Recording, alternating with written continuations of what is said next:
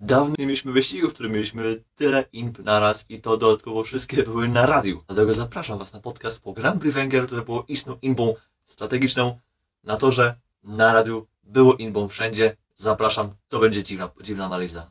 Zacznijmy sobie od tego, że sporo ekip poprzywoziło poprawki, bo samochody popoprawiał Mercedes, spory pakiet przywiózł Red Bull, który przebudował w ogóle tył swojego samochodu, który sprawił, że zniknęły te wielkie działa, jakie miały do, były do tej pory na RB20. Sergio Perez z tymi działami jeszcze jeździł, ale Max Verstappen dostał coś, co mniej więcej przypomina samochód sprzed dwóch lat, troszkę zmienił się tył.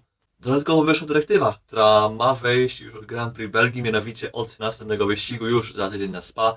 FIA będzie mogła montować na skrzydłach samo- niektórych samochodów, które wybierze sama specjalne kamery, które będą mogły jeszcze dodatkowo mierzyć to, jak bardzo się ruszają przednie skrzydła, ponieważ cały czas mamy inbę o to, czy skrzydła w McLarenie, czy w Red Bullu są legalne, nielegalne. Cały czas jest ta inba o elastycznych skrzydłach, która oczywiście w jakimś stopniu no, wpływa nam na osiągi oraz na to, kto wygrywa obecnie w stawce. I, ale dużym bałaganem były kwalifikacje, które nam y, padły łupem McLarenów, ale były naznaczone tym, że kierowcy Red Bulla rozbijali się w ścianę oraz tego, że mieliśmy opary deszczu, które nam mocno zamieszały w niektórych zespołów, mocno nam poustawiały wyniki. No bo chociażby nam w Q1 odpadły Sergio Perez, no surprise, George Russell, Guan Yu Zhou, Esteban Ocon oraz Pierre Gasly. I zapytacie się, co tu właśnie czterech z tych pięciu kierowców robi, ponieważ oni za bardzo tak tam być nie powinni. No to chyba się nie zdziwicie, jeżeli powiem wam, że Sergio Perez się rozbił. Tam niestety Perez no, cały czas zmaga się ze swoimi osiągami, znów był dramat. Kolejny w ogóle fatalny weekend, ale jak się potem okaże, no ten weekend Pereza nie był aż taki dramatyczny i w porównaniu do Maxa, to w sumie te oceny mogą być takie nie najgorsze. Ale... Natomiast zapytacie, co tam w ogóle zrobił George Russell.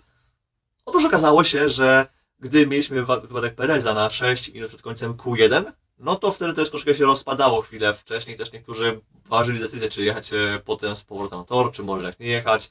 Okazało się, że na przykład w Mercedesie mieli trochę paliwa jeszcze na pokładzie samochodu, ale nie dotankowali wystarczająco dużo wachy Russellowi, aby mógł jechać w kwalifikacjach do samego końca sesji. No i się potem okazało, że pod koniec Q1 to już było bardziej suche, bo na starcie było lekko wilgotno, ale wciąż w miarę na styki. Potem pogoda się pogorszyła, potem Perez się rozbił. No to jak nam się wznowiło Q1 właśnie już tak o wpół do piątej, no to okazało się, że tor jest bardzo szybki, bardzo dobrze przesycha i właśnie w Mercedesie okazało się, że Russell nie miał wystarczającej ilości paliwa i w Alpine też się no, zajebali w akcji. Pierwotnie w Q1 odpaść miał też duet Hasa, ale właśnie w Hasie sięgli po rozum do głowy i zdołali swoich kierowców z Q1 wyciągnąć, natomiast oni już odpadli potem w Q2 z chociażby Bottasem oraz z duetem Williamsa. No właśnie, znów do Q2 mieliśmy Albona oraz Sargenta i też to, że właśnie Sargent znalazł się w Q2, to jest chyba też zaskoczenie, to jest spora niespodzianka, ale no właśnie takie były warunki, troszkę takie zmienne, zmienne kwalifikacje. W Q2 już było troszkę spokojniej, natomiast no w Q3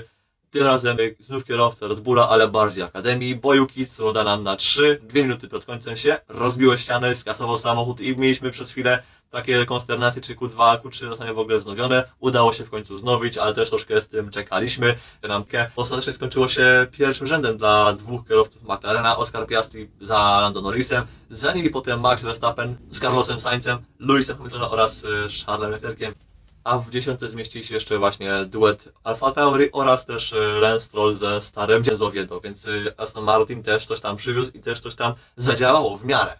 Teraz zapytacie Grzesie, gdzie są te imby, no to właśnie wam dadzimy do omówienia wyścigu. Tylko musicie pamiętać o jednej rzeczy. Siła podcięcia w Grand Prix Węgier była mega potężna, okazało się, że tego w McLarenie na przykład y, nie doszacowali. Jaki to jest chodzi?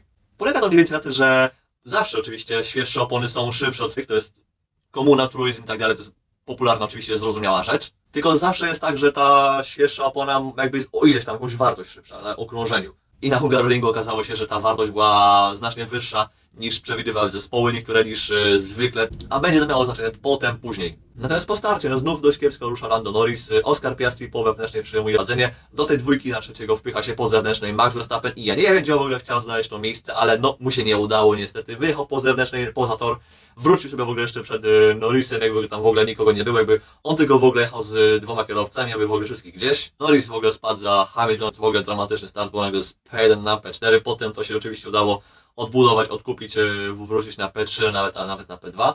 No ale zanim to się w ogóle wydarzyło, to Max musiał ponarzekać, że tu mnie wypchnęli, e, że, że w ogóle wszyscy są niedobrzy, ja jestem najwspanialszy, że jak to możliwe mają, jak to mają prawo mnie wypchnąć, ja mam prawo wyjechać po tor. Zapomniał w ogóle, co odwalił na przykład Kimiemu Raikkonowi przed e, 10 laty, 20, 2015 roku na Kota, gdzie też yy, Kimiego wypychał i w sumie Kimi też powiedział, że no jak wypychałem, to będę innych wypychał. No i w sumie Max, yy, Max odwalił dokładnie, dokładnie ten sam unikat, ale to nie jest wyścigu, no ważne były dwa, dwie rzeczy. Przyjechali na dwa zjazdy, większość startowała na medach, potem stint na twardych i końcówków yy, na medach i właśnie McLareny walczyły pomiędzy sobą, bo tak naprawdę były w tym wyścigu w swojej lidze, a z drugą były na przykład właśnie Verstappen z Hamiltonem oraz Leclerciem, oni też walczyli pomiędzy sobą. Za nimi dalej już tam y, samotnie jechał Carlos Sainz, znowu przyspawany, no tym razem nie do piątego, a bardziej do szóstego miejsca. Z tyłu mieliśmy też ciekawą walkę, ponieważ mieliśmy Pereza, Russella, goniących liderów. Aston Martin jechał też jakiś, jakiś swój wyścig, też jakieś wczesne zjazdy, w ogóle przez jazd wypadania z punktów walczyli, bo to by się w ogóle, w ogóle w tych punktach znaleźć.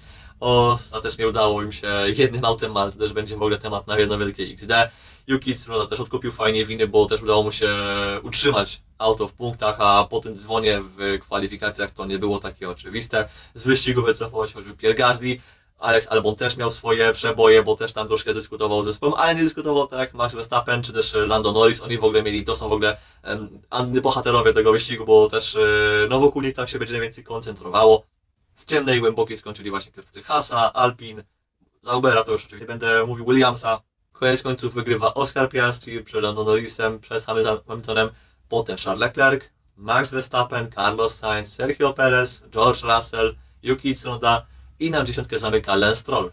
I teraz przechodzimy do tego najgorętszego tematu, więc ten, co tam się w ogóle odchrzaniało, bo to jest ja na to w ogóle nie mam siły, to było jedno wielkie XD, szczególnie w McLarenie, od którego zaczniemy najpierw. Jak powiedziałem na wstępie, do tego wyścigu McLaren był w ogóle w swojej lidze, byli de facto nieosiągalni i dla ich to powinno cieszyć, bo wygrali wyścig 1-2. Pierwszy dublet od dwóch lat, a jak to, to był w ogóle rok 2010, więc jeszcze pod... No i trzymają się sytuacja, ponieważ w tym wyścigu na pit stopy szybciej ściągali Lando Norrisa niż Oscara Piastriego i to by się omal nie odbiło czkawką oraz omal nie wyszła im farsa na miarę Ferrari oraz ich niższych team orders sprzed 20 laty, bo to naprawdę to jest bardzo podobna rzecz, to jest y, wręcz jakiś dramat, to jest, y, wystawili się na, ośmie na ośmieszenie. No bo jak wytłumaczyć sytuację, w której Lando Norris jeżdża na okrążeniu 17 po opony twarde z opon pośrednich, okrążenie później liderujący Piastri zjeżdża na opony twarde też z pośrednich i potem ta sytuacja się nam powtarza na okrążeniu 45 zjeżdża na Norris z twardych z powrotem na pośrednie, a dwa kółka później Piastri zamienia znów twarde na opony pośrednie. I teraz powiecie, Grzesiek, co jest takiego dziwnego, niespodziewanego, co jest kontrowersyjnego? No bo kuźwa Piastri prowadził w tym wyścigu, on był właściwie do mety z oczywiście z dużą przerwą. I jeśli może pamiętacie, powiedziałem wcześniej, że siła podcięcia była bardzo potężna, a jeżeli w ogóle już weźmiemy pod uwagę to, że Piastri jechał dwa kółka później od Norrisa, no to nie muszę wam chyba mówić, że jeżeli Norris trzymał się na te 2-3 sekundy za Piastrim przed drugim i ostatnim postojem, no to zjeżdżając dwa kółka wcześniejszego, no to nie ma bata, podciął go udało się ewidentnie, no i po 47 okrążeniu zjeżdża Piastri i na czele tam się znajduje Norris, który właśnie podciął swojego team partnera i się zaczął kabarecik.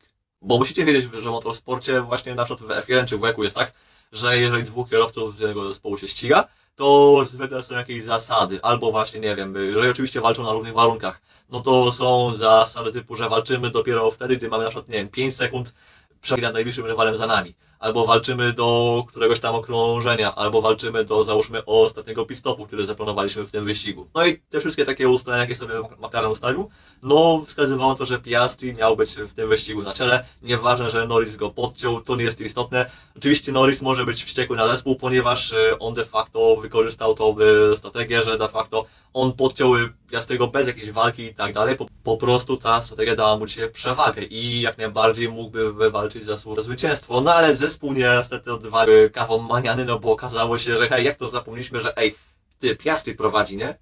I powinniśmy mu w sumie dać o możliwość lepszego, wcześniejszego zjazdu, żeby właśnie jego team partner właśnie podciął. Co byśmy tu kuźwa odwalili? Zakratuj. No i zebrali się niczym kolegium y, PZPR-u, podumali, pokminili, ej dobra, to Norris, wiesz co, musisz oddać pozycję. A to zrobili?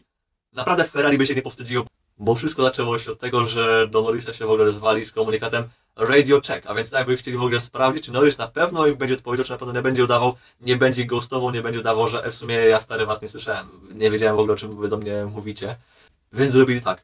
Halo Lando, czy nas słyszysz?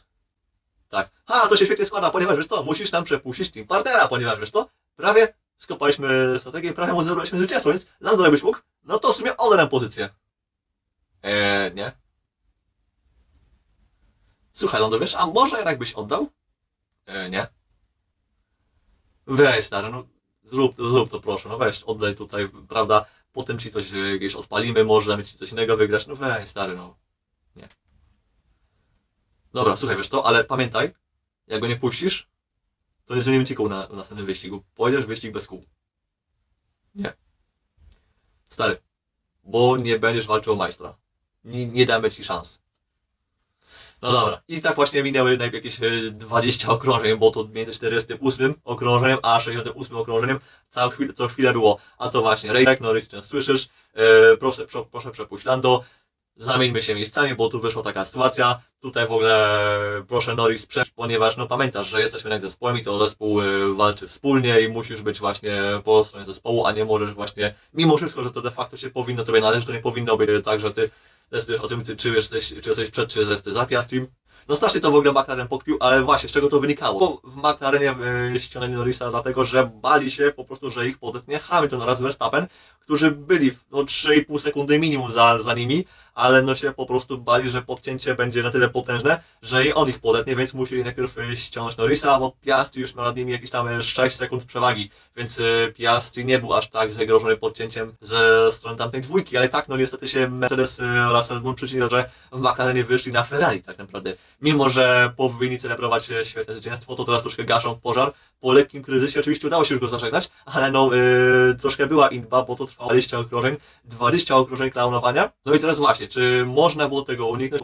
Było trochę ryzykanckie, ale jednak można było tego uniknąć, bo mieli przewagę taką, że mogli właśnie okrążyć e, kółko po kółku dwóch kierowców. Double stack byłby troszkę ryzykowny, bo to mówię, dwie sekundy przewagi Piago nad Norrisem, no to jest naprawdę ryzyko, to jest takie na styk. Jeżeli chcemy mieć dobry double stack, to warto mieć minimum 3,5 sekundy, a nie niestety 3,5 sekundy między Piastrim a Norrisem nie było, co bardzo mocno skomplikowało życie zespołowi, ale nie musieli trzymać Piastriego aż dwa kółka później, bo to właśnie niepotrzebnie zrodziło taką sytuację, gdyby to kółko wcześniej ściągnął Piastriego, nawet założył właśnie, że Norris zjeżdża pierwszy, no to Piastri albo byłby blisko, albo ten, bo tak to potem musieli właśnie trzymać chłopaków e, w jakichś tam odległościach, żeby się mogli komfortowo zamienić, no bo potem okazało się, że Norris w ogóle odjechał na jakieś 5-6 sekund, więc e, okazało się, że hej, nie dość, że Norris was nie za bardzo słucha i nie chce go oddać mu pozycji, to jeszcze sobie w ogóle buduje przewagę jakimś, e, nie wiadomo jakiej paki.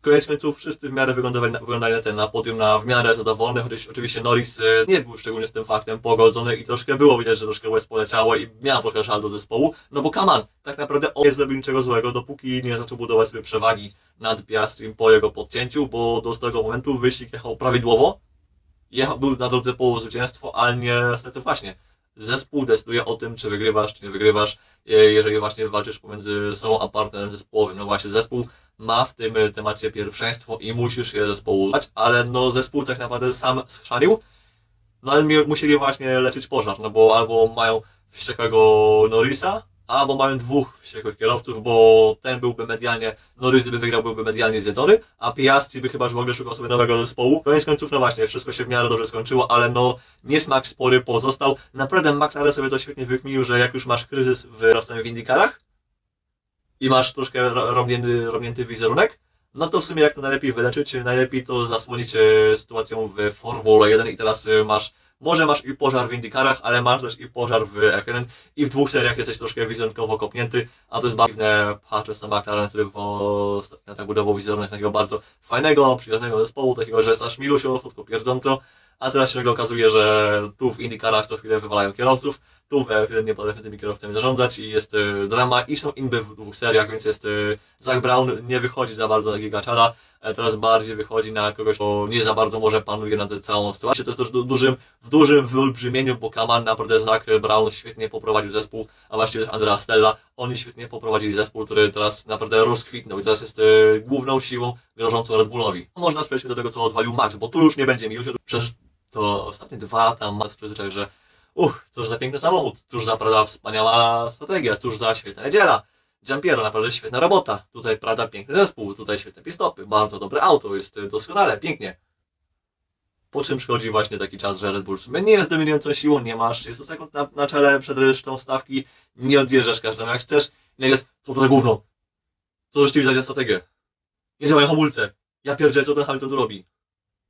Skręcił na mnie. Co za szrot. Ja, no, Max naprawdę dzisiaj yy, przypomniał typowego Sebę. spod bloku, spod ciemnej bramy w Łodzi, bo nie da się tego zakreślić sportowym. Serio, wyjeżdżanie poza tor na starcie, wyjeżdżanie poza tor zyskiwanie przewagi, potem jeszcze właśnie przepychanki z inżynierem zespołowym, po czym następne przepychanki zespołowe z, po czym następne jeszcze przepychanki z Jean-Pierre Lambiazę, po czym jeszcze jebanie po hamulcach, jebanie po całym samochodzie, jebanie po strategii, walenie jeszcze potem w Hamiltona. Oczywiście też było bardziej błąd Maxa, bo przestrzelił, przestrzelił hamowanie i troszkę poleciał zbyt gorąco, ale potem walnie w Hamiltona, że a tu skręcił we mnie, a przecież to było widać ewidentnie, że Luis już się po prostu składał do swojego zakrętu, bo on się tam Maxa po prostu nie spodziewał i to, była incydent, to był po prostu incydent wyścigowy. Ale Max nie, tu we mnie Luis skręcił. Oczywiście w Norrisa, oczywiście on wcale nie skręcił w Norrisa w dwa wyścigi wcześniej w Austrii, więc tam się, to no nie, to tam w ogóle z Norrisem to w ogóle nic tam nie było, nie? Tam w ogóle z, yy, będzie sobie spijali z dzióbków, ale z Hamiltonem nie. W życiu. Naprawdę nie chcę takiego Maxa oglądać, bo to był jakiś, e, to był najgorszy Max Verstappen, jakiego widziałem od dobrych 6 lat. Bo aż mi się przypomina jego seria z roku 2008, gdzie on miał serię wyścigów, gdzie co wyścig, kolizja, błąd, obrót, lądowanie w ścianie, walenie po silniku Renault. Naprawdę y, wtedy Max był chyba w najgorszej jakiejś takiej formie, dyspozycji, sytuacji ever. To, co dzisiaj robił to, w tym wyścigu, nie do zaakceptowania, bo to nie było, godziło w ogóle w wizerunek Maxa jako kierowcy, wizerunek Maxa jako ambasadora F1, jako de facto jako trzykrotny mistrz świata oraz aktualny mistrz świata. Godziło właśnie też dobre imię jego jako profesjonalnego sportowca. Naprawdę nikt na tym nie zyskał. No oczywiście poza tym, że posłuchaliśmy sobie troszkę bluzjania przez radio i było troszkę śmiesznie, ale już samy Giampiero Lambiase powiedział, nie Max, ja nie będę się wdawał w pyskówki między zespołami w sytuacji z Hamiltonem, to jest po prostu nie, skup się, jedziesz. A Max po prostu był jak rozliczony bachor, co jest yy, dużym słowem, zależy to, że Max ma 26 lat, Kaman, sam mam mniej więcej tyle, więc jestem dosłownie jestem w wieku Maxa, jestem do niego jakieś 3 miesiące starszy. I co ja robię ze swoim życiem? Max wygrywa Mistrzostwa Świata, a ja co? Ja, ja nagrywam o tym jako bluzga. Jezu, gdzie myśmy, gdzie popełniłem błąd. Także nie zdziwcie się, jak się okaże, że od następnego wyścigu inżynierem wyścigowym nie będzie Giampiero Lambiase, tylko może Jos Verstappen, bo chyba tylko Jos oraz jego kabel Protija oraz jego pasek od spodni mogą na coś na Maxa zdziałać. No się, no się Max może zdziwić, e, słyszy tutaj, e, wyjeżdża, wyjeżdża na grid na spa i słyszy, halo, Max, tu Jos. Wiesz, że jest ta stacja benzynowa? No, to się pilnuj tam. Widzimy się po wyścigu. Naprawdę chciałem to po prostu zobaczyć, bo okej, okay, GP świetnie sobie poradził, świetnie się spisał z, z Maxem, wręcz go, wręcz go uciszając, wręcz go, wręcz go usadzając w miejscu, w którym powinien być, ale no Max nie powinien w ogóle takich rzeczy robić. Ja wiem, że samochód teraz nie jest idealny, że jest yy, troszkę gorzej, ale Kaman wyzywanie zespołu naprawdę nikt nie powinien czegoś takiego robić, a w szczególności właśnie wielokrotny mistrz świata, który temu zawdzięcza karierę. Więc dla mnie mega minusem jest y, Max, największy chyba w ogóle minus tego całego wyścigu, bo to było, po prostu to było śmieszne. Max całą swoją taką dojrzałość, jaką nam pokazywał przez ostatnie 4 lata na przykład, odkąd mniej więcej się pojawiła Honda w Red Bullu, aż do teraz, całą, cały taki balnik poszedł pff, i pokazał, że jest po prostu holenderskim patusem yy, z ciemnej bramy w Amsterdamie tak się naprawdę zachował. Po prostu pokazał się mniej więcej z takiej strony, jakiej, jakiej się pokazuje nas jego ci bardziej zagorzali kibice, już najbardziej fanatyczni. I Max się do nich doskonale dopasował w tym wyścigu. Ja wiem, że są emocje, ja wiem, że kierowca walczy o wszystko, walczy też ryzykując swoim zdrowiem, życiem, ale to nigdy nie usprawiedliwia właśnie wręcz pyskówek, wyzywanek, oraz tego typu komunikatów, jakie latały. Brakowało tylko chyba N-wordów, żeby tam jeszcze latały.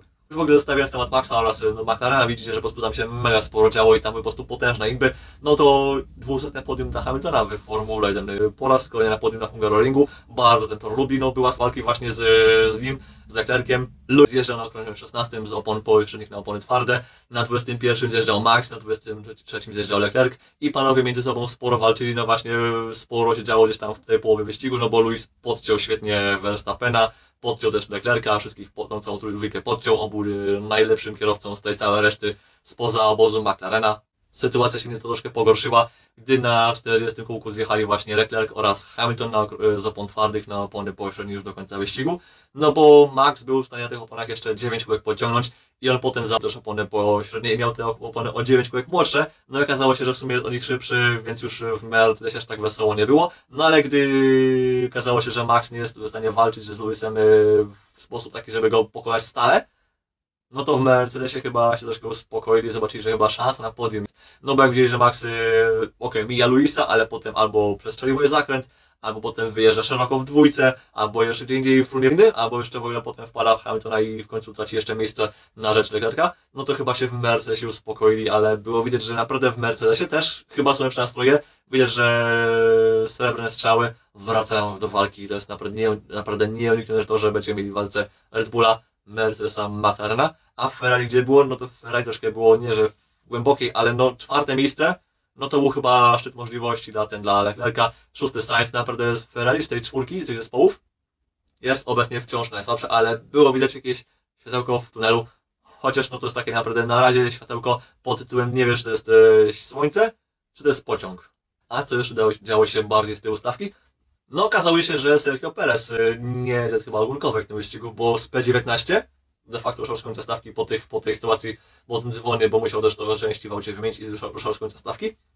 Udało się mu przebić aż na P7 Russell z P16 na P8, więc naprawdę świetne przebicie się, świetna właśnie walka i trzeba właśnie pochwalić Pereza, bo przy całym tym gromach, jakie w, tego, nie- w niego ciśniemy, to trzeba go w ogóle pochwalić za to, że w ogóle był na mecie, ale to, że był w punktach i że był blisko Maxa Verstappena, który się wdawał w różne sytuacje, w różne pyskówki, kolizje, wyjazdy poza tor, naprawdę Perez jest plusem tego wyścigu i Red Bulla naprawdę był wartościowym kierowcą, patrząc po tym, co Max odwalał. W punktach nam się jeszcze zmieścił Yuki Tsunoda, który dowiózł auto w punktach, to nie było takie oczywiste. Troszkę spokojny wyścig, tam się troszkę gotował między nim a Zauberami oraz Astonami Martinami. Na na punktach y, stawkę zamyka Lance Stroll, który, uwaga, zawinął punkt Fernando Alonso, ale w nie taki sposób, jaki byście chcieli. To nie, to nie była walka na równi. Okazuje się, że Stroll został e, przepuszczony przez Alonso po to, by pogonił za Cunodą, po to, by właśnie pogonił po miejsce dziewiąte, ewentualnie jeszcze jakiś punkcik więcej wyciągnął. No okazało się, że nie udało się, to jest raz. I może się nie udało, ale za to jeszcze nie przepuścił swojego team partnera. I teraz ale Stroll był po jak do Alonso. No i co mi zrobisz? I co mi zrobisz? I co? Jak powiesz tam, to dostaniesz premii. I teraz Hiszpan miał do wyboru dwie opcje. Albo właśnie napierdzielać zespół, napierdzielać w Strolla, napierdzielać we wszystko i nie dostać premii. A może jak w sumie dobra, może jak powiem, że no dobra, Lens y, zrobił dobrze, każdy kierowca walczy o swoje, że tam prawda jest nieustępliwy, bardzo dobrym kierowcą, jest y, świetnym team partnerem i prawda, jedni mogli się od niego uczyć i zgarnąć może jakieś 200 baniek premii czy coś, Aramco. W sumie dwie kuszące opcje, chyba wybrał tą drugą opcję, bo na razie nie słyszałem grzmotów ze strony Alonso, no było, to było bardzo komiczne. I kończymy Grand Prix Węgier, bo już za tydzień nasze ukochane, ulubione Spa-Francorchamps, a potem przerwa wakacyjna. Ale jeszcze szybko, zanim y, skończymy właśnie Węgry, no to jeszcze szybki przód po Grand Prix Węgier, ale F2 oraz F3. No i w sprincie F2, no niby wygrał y, Richard Verschoor, ale dostał dyskwalifikację po wyścigu, więc wyścig wygrał w sprincie Kuszmaini przed Wiktorem Martin oraz Izardarem, więc mieliśmy podwójnie francuskie podium w Formule 2, a z kolei już w niedzielę bez szans y, dla rywali był Kimi Andrea Antonelli, a więc Włoch, ukochany, potopieczny, nowy syn Toto Wolfa, wygrał raz pierwszy Grand Prix F2, główny wyścig w Formule na Hungaroringu, więc naprawdę doskonale, więc już e, pewnie kontrakt w Mercedesie jest już pewnie kwestią czasu. Od, od e, Spa za Sargento, jak to. No ale wspomnijmy że na podium dwa razy był w Martin, no bo był potem jeszcze drugi. Raz na podium, na drugim miejscu w głównym wyścigu. Richard Verschoor był trzeci, więc też dla niego całkiem dobry weekend, tylko szkoda tej dyskwalifikacji, bo tych punktów byłoby więcej. Zaś w Formule 3 mieliśmy bardzo interesującą sytuację, ponieważ w sprincie w F3 wygrał co? duet AX Racing, duet dawniejszego PHM, więc e, Piotrek Wieśnicki. No może czuł się troszkę oszukanym, może czuł się troszkę taki, no skonfundowany, bo Kaman, ja jeszcze temu do tego jeździłem i w ogóle oni nie potrafili zdobyć punktów, nie potrafili opon do samochodu przykręcić porządnie, a tu nagle pff, podium. AX Racing e, z Bedrinem oraz z panem z Tajlandii o nazwisku Inshantra Puwasak, tak. A więc y, ten duet y, wygrywa w, dla AX Racing. Jeszcze no Dufrek mógł być też na podium, ale szkoda, ponieważ y, jego wyścig został de facto walony w starcie, już na starcie sprintu była chyba kolizja oraz przebita opona i po tym y, o punktach mógł, mógł najwyżej pomarzyć. Więc jeszcze była walka z Dino Beganowiczem, który próbował właśnie walczyć z Bedrinem oraz z jego team partnerem. Y, Były dive bomby do drugiego zakrętu, były dive bomby do trójki, były dive bomby do jedynki. Nie udało się w żadnej z tych opcji i AX Racing było niepokonane w tym wyścigu, to aż się troszkę śmiesznie na to śmiesznie się mówi taką rzecz, ale naprawdę AX Racing pokazało moc w sprincie. Beganowicz mógł być najwyżej trzeci. Natomiast już w głównym wyścigu Nikola Cołow przed Leonem oraz Lorenzo Fornarolim byli w ogóle nie do zatrzymania. To był właśnie e, świetny pokaz dominacji dla Cołowa, który by the way też odwala troszkę w treningach oraz kwalifikacjach, bo ma już 11 z 12 punktów karnych, więc jeszcze jeden punkcik. A jeśli zapytacie o to, gdzie byli Polacy, no niestety Polacy w tym weekend e, kiszka i dramat e, zarówno w F3, jak i we włoskiej F4, ale raczej się wielu, wielu sensacji nie spodziewaliśmy. Piotrek Wiśnicki 27 oraz 18, a z kolei Kasper Sztuka 24 oraz 21. Nowa 7 plusikiem było 18 miejsce Piotrka w głównym wyścigu, ale no on, brak punktów, ale no trzeba pochwalić to, że był w czołowej 20, a to też e, temu duetowi też się nie zdarza tego osiągnąć. No trochę lepiej było we włoskiej Formule 4, ponieważ tam Wiktor Dobrzański z pozaczołową 25, bo dokładnie 26, 27, ale już w Inbie w trzecim wyścigu włoskiej F4 na torze Le Castellet, na Paul już był 13, więc naprawdę było bardzo blisko punktów, ale tam była taka inba, że Wiktor naprawdę świetnie się, świetnie się strzelił w restarty, świetnie sobie radził w tej przestrzeni wyścigu pomiędzy neutralizacjami, bo to tak to można sobie powiedzieć, że tak naprawdę tam było więcej neutralizacji niż ścigania. I Wiktor się bardzo dobrze w tym odnalazł, 13 miejsce, nie, też punktów nie ma, ale no Kamal w kontrze do tego, co robił wcześniej, gdzie też Wiktor no, ma spore jakby zaległości względem młodszych rywali, no dało jakoś tam radę, więc to też jest dla niego jakiś plusik. Natomiast we Frece Dalej nam lideruje Rafael Camara, ale troszkę po gorszym weekendzie też e, jego rywale do tytułu też e, sobie poradzili z odbieraniem punktów, więc też troszkę pokazuje to troszkę poziom w tym sezonie. Szkoda mi też w ogóle Romana Bińskiego cały czas, no bo Roman, pamiętacie, były punkty, było podium i kierowca, którego zastępuje, no też już są punkty, są podia, a przypomnę, to już jest trzecia, czwarta runda, którego, którego, właśnie, którego właśnie nie ma. Wielka szkoda, bo to pokazuje, że Roman w sumie miał potencjał na to, żeby faktycznie w tym roku może być, nie wiem, w czołowej szóstce, czołowej ósemce, a tak jest y, totalna dupa, zostały trzy rundy do końca. I no, boję się, że to już jest taki sezon w ogóle stracony, ponieważ de facto więcej leży w łóżku niż jeździ. Mieliśmy też finał Mistrzostw Świata Formuły E w tym sezonie. Najpierw Mitch Evans w pierwszym wyścigu, potem w drugim wyścigu Oliver Rowland, Rowland ale w tym wszystkim Mistrzostwo Świata przyklepuje Pascal Wehrlein. I tutaj znowu się, ja tu mówię, że Mitch Evans oraz Nick Cassidy są powoli tym, czym dawniej był Sam Bird, czyli świetni kierowcy, bardzo mocny duet. Są w stanie walczyć do mistrzostwo do prawie do samego końca, tylko właśnie różnica potem robi końcówka sezonu. Znów poszło coś tak. U Cassidy'ego go wystrzelił z wyścigu Da Costa, który był zbrodniarzem w tym wyścigu. Mitch Evans nie był natomiast w stanie trafić w strefę aktywacji trybu ataku. To było tak bliskie mistrzostwo do samego końca, że właśnie taka rzecz o tym zadecydowała. Nie o tym, kto jest szybszy, nie o tym, kto lepiej oszczędza energię, nie o tym, kto lepiej przetrwał jakiś wyścig, tylko właśnie o tym zadecydowało to, że Evans nie był w stanie trafić w kuźwa linię, którą ćwiczy się setki razy na symulatorze, potem w treningach, potem jeszcze parę razy potem jeździsz w wyścigu. No i właśnie Mitch Evans y, niestety to przegrał. Wielka szkoda, właśnie ten duet Evans oraz Cassidy jako zespół byli nie do pobicia. Byli najrówniejszą, najrówniejszym w, w tym sezonie. Tylko oni byli w stanie stawić czoła właśnie Verlainowi na koszcie z Porsche. To był też w ogóle sezon dominacji właśnie dwóch producentów, Jaguar oraz Porsche. I by mieliśmy też w IndyCar, bo tam y, gwiazdą na to, że był Colton Herta oraz i ogólnie Andretti Autosport, ale poza torem no, mieliśmy też niezamieszanie z McLarenem. Nie tym razem nikogo nie zwolnili, nie tym razem nikt z zespołu nie wyleciał. Natomiast y, na kontuzję wyleciał na mnie niestety Alex Rossi w, w treningu. Zaliczył niepozornie duże, niezbyt dużego dzwona, do ścianę też w barier z opon, ale niestety nie tyle niefortunne, że złamał kciuk. Pamiętacie może sytuację z Ricardo z roku w treningach na Sandwort?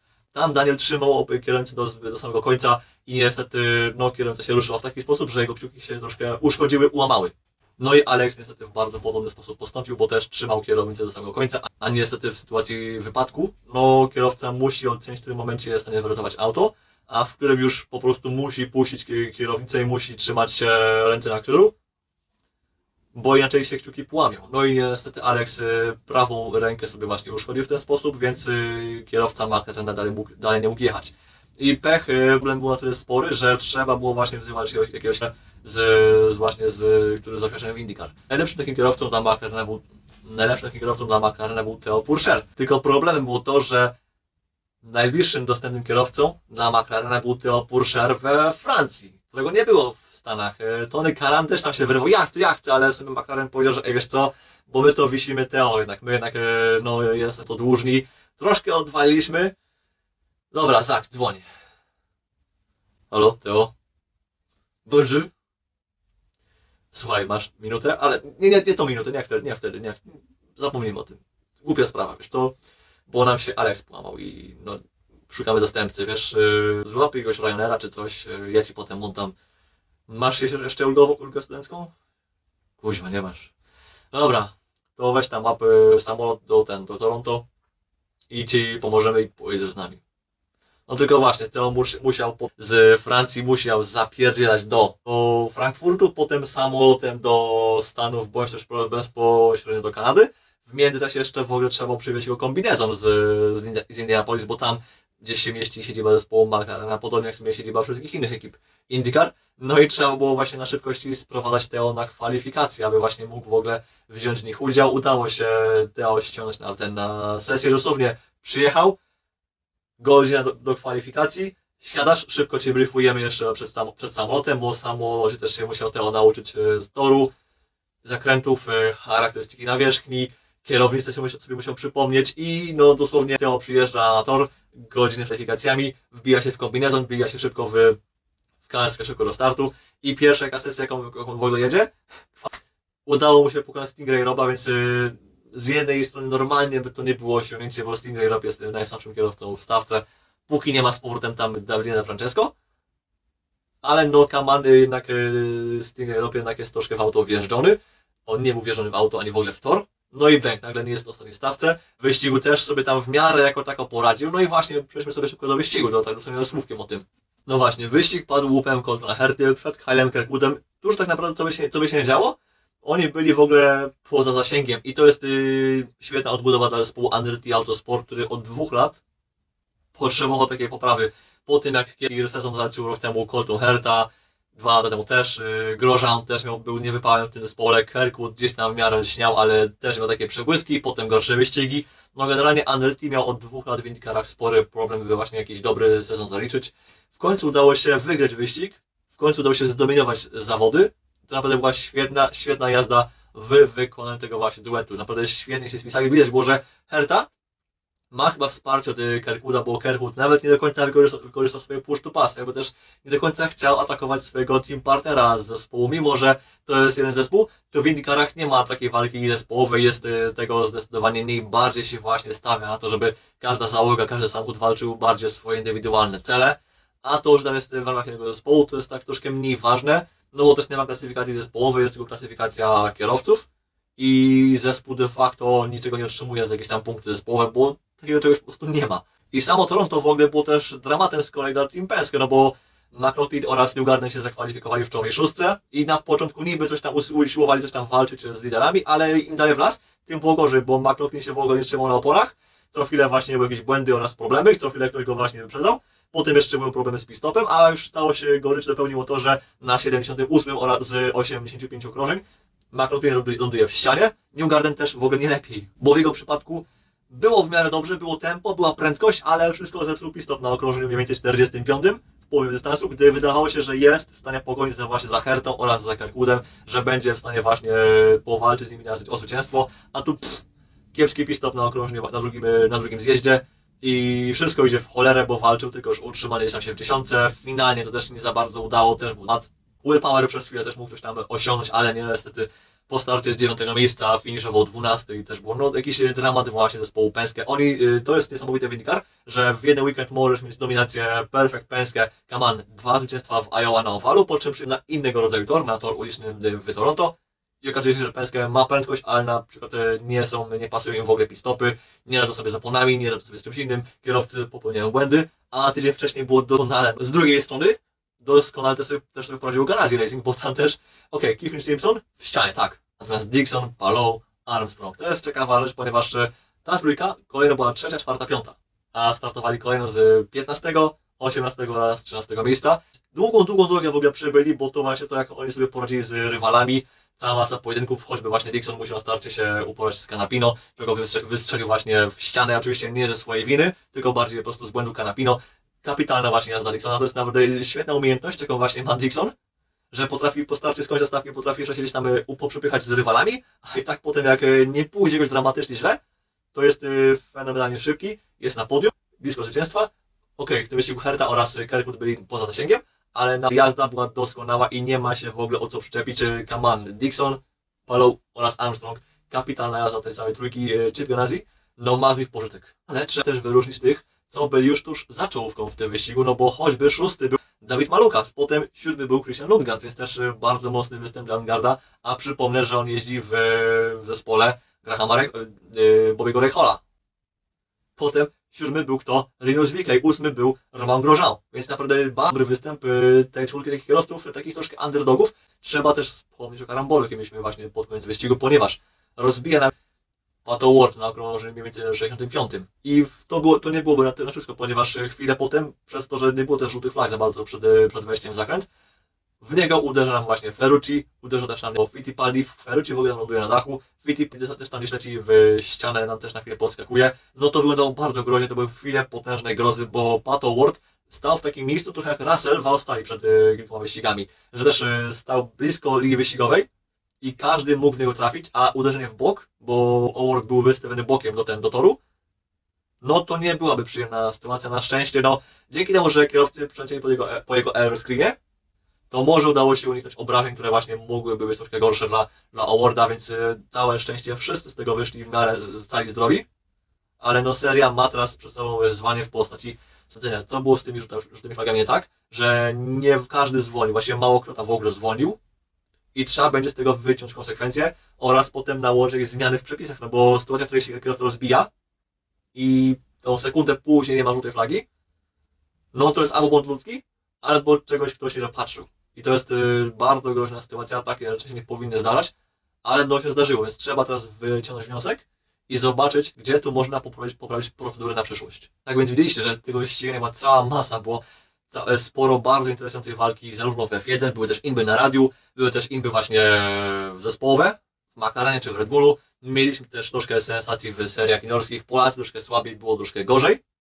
No ale to wszystko bardzo fajnie zwieńczyło właśnie IndyCar. Już o dominacji Topraka Razgatoglu w World Superbike nie wspomnę, wszystkie trzy wyścigi wygrane. Best of the rest był nam Nicolo Bulega w, na, w czeskim, na czeskim torze. Natomiast jeśli chodzi o wyścig 8 godzin Suzuka w Japonii, no to niestety Polacy DNF, Arek Starowiecki oraz ekipa Wójcik Racing Team, no niestety cała załoga nie ukończyła po dwóch potężnych dzwonach. No a koniec końców wygrywa nam Honda, i to uwaga w składzie z Żonem Zarko, więc e, zawodnikiem MotoGP, więc e, Zarko w miarę dobrze się bawi. No dla niego chyba właśnie kierunkiem będą właśnie endurance w najbliższych paru latach, gdy właśnie już e, z Hondą odejdzie z MotoGP, bo prawdopodobnie w rodzinie Hondy się utrzyma, ale no właśnie Honda go po, prostu przekieruje do film EWC za rok, za dwa. No właśnie jeśli chodzi o superbajki, to Toprak totalnie top i wiesz, że BMW no jest chyba już w kapitalnej formie, jest już po prostu o krok przed całą resztą, są w ogóle nie do powstrzymania. Cały weekend w motorsporcie był bardzo intensywny i nie tylko w F1, też właśnie w IndyCarach. A jeśli chcecie dowiedzieć się tego, co może potencjalnie dziać się w Grand Prix Belgii już za tydzień wraz z juniorami, to zapraszam na kolejny podcast. A dziś Wam dziękuję. Do usłyszenia.